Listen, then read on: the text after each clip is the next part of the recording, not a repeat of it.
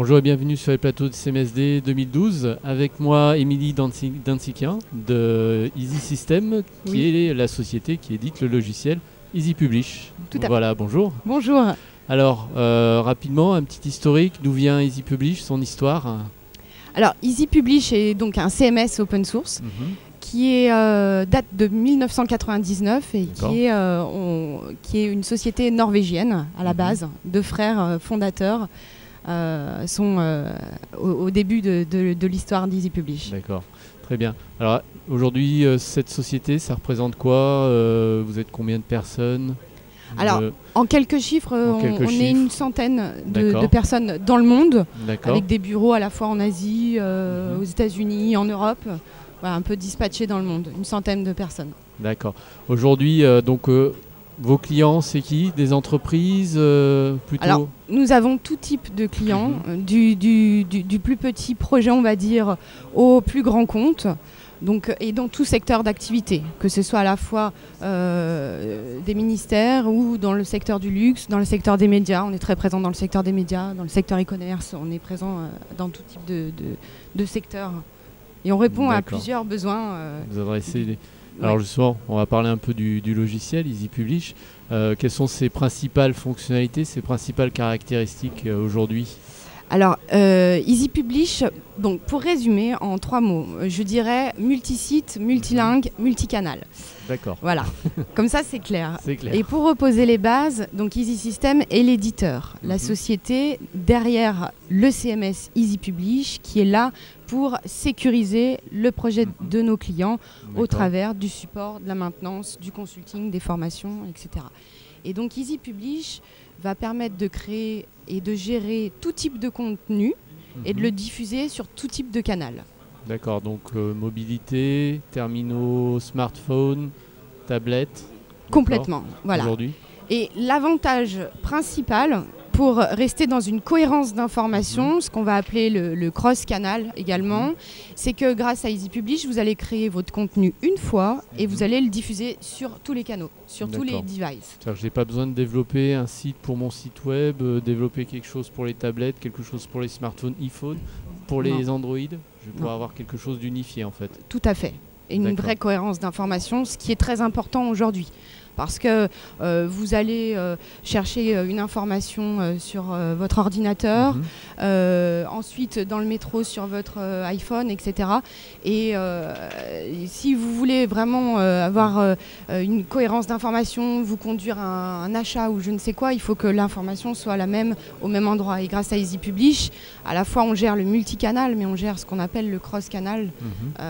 de par cette cohérence d'infos, le fait qu'on crée le contenu une fois et qu'on puisse le publier en un clic, on va dire, sur tous les canaux. Donc c'est cette ubiquité euh, pour l'utilisateur, tout, terminal, il n'y a pas de différence pour lui. Hein. C'est ça. Alors aujourd'hui, c'est quelle est l'actualité un petit peu autour d'Easy Publish, euh, de nouvelles versions, de nouvelles fonctionnalités? Qu'est-ce qu'on a de Alors oui, alors les, on va dire deux grosses évolutions.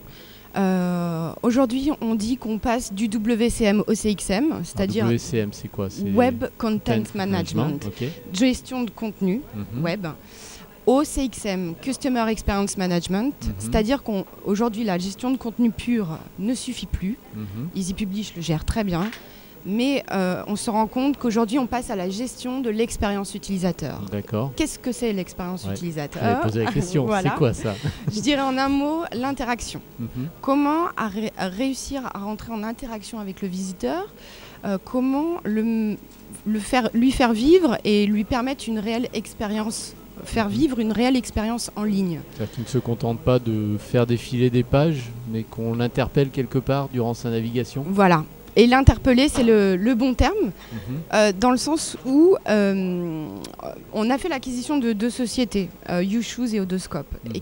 et, euh, donc YouShoes va être un, outil, Easy Recommandation Service. C'est un outil qui va permettre de pousser du contenu personnalisé au visiteur. C'est-à-dire que le visiteur est euh, en train de naviguer sur euh, votre site web. L'outil va enregistrer un petit peu son parcours et va, va être capable de lui pousser du contenu personnalisé. En fonction de ce que je regarde, je vais avoir des informations complémentaires qui correspondent à mon centre d'intérêt. Voilà. Donc ça, par exemple, c'est une, une des extensions en fait qui est au travers de notre place de marché qu'on appelle Easy Market. À la base, Easy Publish a de nombreuses fonctionnalités mhm. natives, comme mhm. Easy Find, son moteur de recherche, Easy Flow, etc. Et grâce à Easy Market, nos partenaires vont euh, développer des extensions que Easy System va certifier et ce qui va ajouter de nombreuses nouvelles fonctionnalités euh, qui ne sont pas natives justement, de nouvelles fonctionnalités à Easy Publish, mhm. donc Easy Recommandation Service par exemple pour le contenu euh, personnalisé. Easy Odoscope qui est un outil d'analyse du comportement du visiteur. On va analyser le visiteur, son parcours, d'où il est arrivé, par où il sort.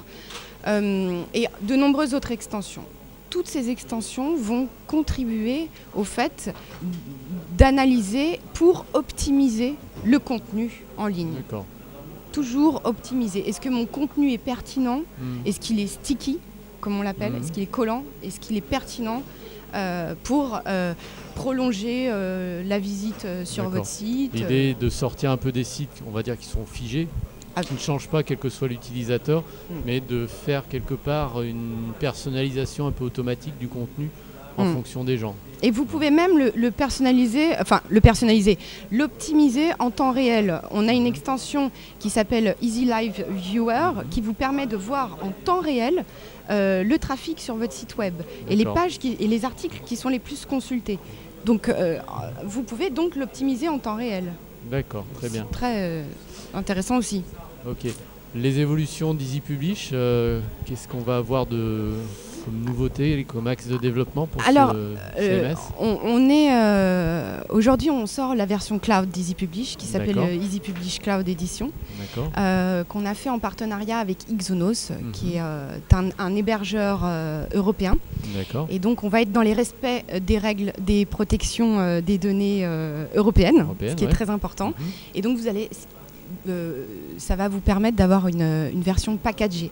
Euh, à la fois avoir Easy Publish Enterprise avec l'éditeur qui est derrière et euh, une solution d'hébergement. D'accord. Donc je ne vais pas avoir à me préoccuper d'installer des choses, d'avoir un serveur, etc. Hein, ça va vous permettre de vous concentrer sur votre cœur de métier. Mhm.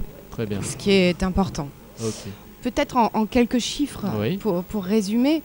Aujourd'hui, Easy Publish, c'est 250 000 installations dans plus de 160 mhm. pays. C'est une communauté de 42 000 membres. Mhm. Donc aujourd'hui, on a plusieurs points d'innovation. Euh, la communauté, qui vont donc euh, qui est 42 000 euh, contributeurs hein, finalement, hein, qui vont nous aider à innover. Easy System en tant qu'éditeur va faire une sorte de photographie des, des, contributions de cette communauté et va lui faire passer des tests d'assurance qualité euh, pour pouvoir proposer un produit stable et fiable et, une solution pérenne. Et donc on, s'engage euh, à proposer une solution fiable et à sortir une release, une version tous les six mois qui est stable, qui, a, qui, a, suivi des tests d'assurance qualité. Donc on a une, une roadmap euh, deux fois par an, tous les six mois. La dernière a été le 15 mai. Et la prochaine est le 15 novembre, qui va s'appeler donc euh, Easy Publish 5 euh, Kilimanjaro. D'accord. Et donc, si on regarde un peu plus loin, si on essaie de voir un peu à long terme, euh, le futur d'Easy Publish, c'est quoi? Alors, le futur, ça va être finalement de, toujours contribuer à l'innovation. Mhm. Donc, au travers de notre communauté, on met également d'autres systèmes en place pour continuer d'innover, comme notre Product Innovation Board. Où on va rassembler en fait un panel de notre écosystème qui vont nous aider à suggérer de nouvelles choses, à nous faire des retours. Ça va contribuer. Et euh, tout ça va. Euh, on, souhaite continuer à, anticiper les tendances du marché, comme on l'a fait euh, avec Easy Market et YouShoes et Odoscope. On, va faire en sorte de continuer à anticiper les tendances du marché dans le but d'asseoir notre position de, de leader. Très bien. Si je veux trouver des informations sur Easy Publish, un site? Alors c'est ez.no ou ez.no slash fr en français. Ok, très bien. Bah, écoutez, je vous remercie pour toutes ces informations. Bon CMSD, à bientôt. Merci. Au revoir.